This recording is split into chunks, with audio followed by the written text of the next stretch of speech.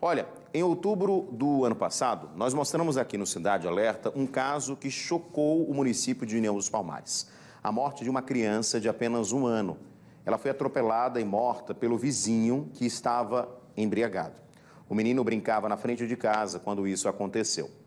A novidade desse caso é que esse homem foi preso hoje no interior de São Paulo. Quem traz para a gente os detalhes dessa prisão é o repórter Neto Mota. Neto, um caso que chamou muita atenção, né, comoveu bastante, né, não só a cidade, mas todos nós, né, porque assim, ele estava brincando na porta de casa e aí veio esse vizinho embriagado né, e acabou atropelando e matando esse anjinho, né, Neto Mota? Ele, ele fugiu para São Paulo, é isso? Foi preso hoje lá.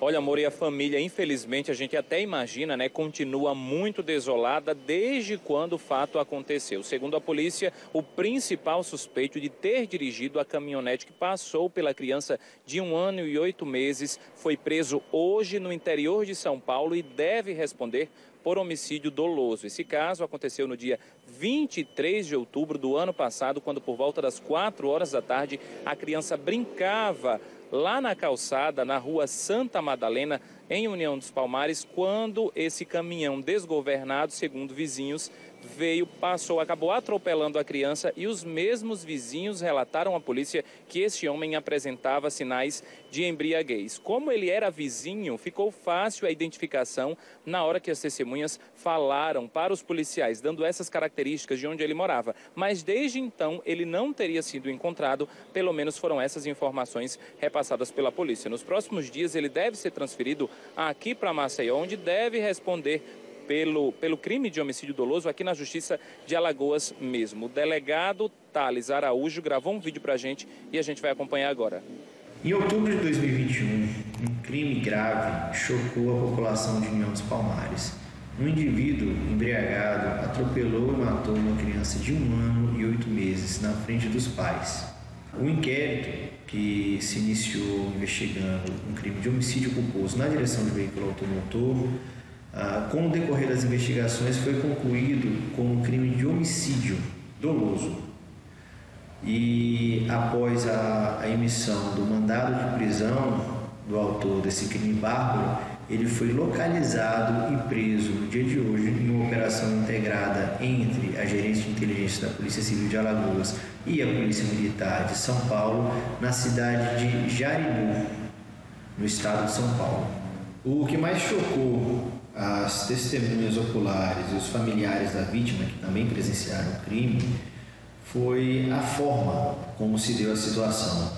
Após a colisão inicial com a criança, o motorista embriagado, mesmo diante da, dos gritos desesperados da mãe da, da vítima, não cessou o movimento do carro. Pelo contrário, ele deu ré e, e voltou a se deslocar com o carro passando por cima da criança por mais duas vezes, o que veio agravar a situação e fez evoluir ao óbito.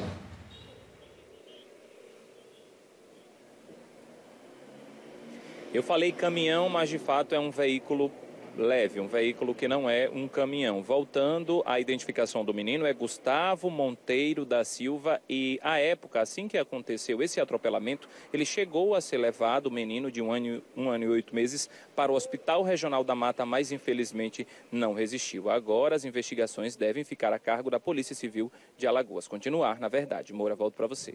Pois é, Neto, e uma tristeza, né? E você vê né, o risco de dirigir embriagado, né? Porque veja, se ele estivesse né, nas plenas funções, né, dirigindo ali com consciência, tivesse acontecido, vamos dizer assim, né, um problema mecânico no carro, e ele tivesse atropelado o menino, você teria atropelado uma vez, ele teria parado o carro.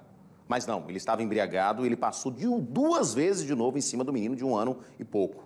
Né? Então, veja, atropelar três vezes esse pequenininho aqui, o Gustavo, né, um ano e pouco de idade, ou seja, não, não conseguiria resistir. Né? Então, assim, é o risco que quem comete esse tipo de crime, porque é crime, não é acidente, é crime, é crime. Porque se você sabe que você não pode dirigir depois de consumir bebida alcoólica e você dirige, você assumiu o risco. Assumiu o risco de matar pessoas inocentes, como esse menino aqui, o Gustavo, de, de apenas um ano e meio. Então é crime, não é acidente. Acidente seria se o carro tivesse um problema, se faltasse freio, se de repente aconteceu um problema na, na roda, no pneu, o pneu estourou, atropelou a pessoa que estava na calçada, aí é acidente. Nesse caso não é acidente. Você assumiu o risco. Esse motorista assumiu o risco de dirigir, né, Neto Mota, depois de consumir bebida alcoólica. Então pode não acontecer nada? Pode, mas pode acontecer muita coisa, inclusive morte. Você pode se transformar num assassino dirigindo seu carro dirigindo a sua moto, pilotando sua moto, dirigindo um caminhão. Exatamente isso que a gente não tem como aceitar. Né? E imagina o dor e o sofrimento da, dessa família aí. Agora um pouco mais amenizado após a prisão, né? que ele realmente possa ser responsabilizado no julgamento. Obrigado, Neto, pelas suas informações ao vivo. Um caso que chamou muita atenção foi a União dos Palmares e a gente reforça: não é acidente. Não é acidente. Se você pegou seu carro, se você pegou a sua moto, depois de ter bebido, você assumiu esse risco. Você sabe que você não pode dirigir um veículo depois de ter consumido bebida. Não pode. Ah, mas não vai ter blitz, não. Não é essa a questão. Não é a blitz. A questão não é a blitz. A questão é que você está com a sua, a sua visão prejudicada, seu raciocínio prejudicado por conta do álcool. É por conta disso. Você pode se envolver no acidente, você pode morrer e pode matar outras pessoas. Então, não dá. Tem inúmeras formas de você se divertir, ir para festa, ir para o bar, né? beber todas, mas não pegue o carro. Não pegue uma moto, porque você pode matar inocentes, como o caso do Gustavo aqui.